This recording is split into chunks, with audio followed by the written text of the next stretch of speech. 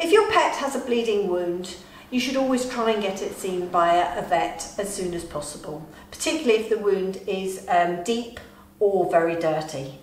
If you have to clean it um, and dress it yourself, then this is how you would do it. First of all, wear gloves.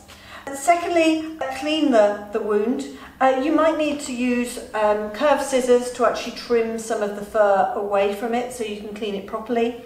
And you would clean it with either water or um, a veterinary antiseptic. You would then use a bit of um, gauze. This can be the same as the gauze you get in a human kit and you pop that over the top.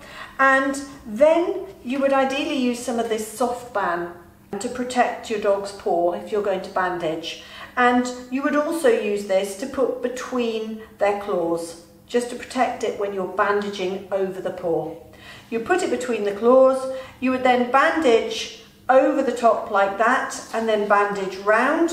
Um, show you quick, so you literally just do that, so that's cushioning it.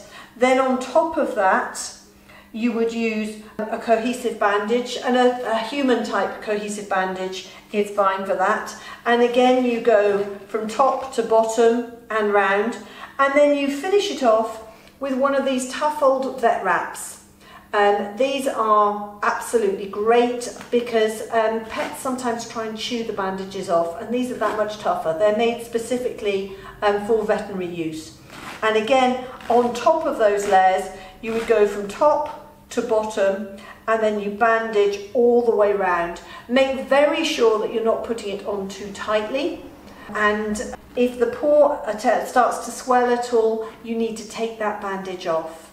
If the bandage becomes wet, you need to take it off and do it again as well because a, tight, a wet bandage will get tighter.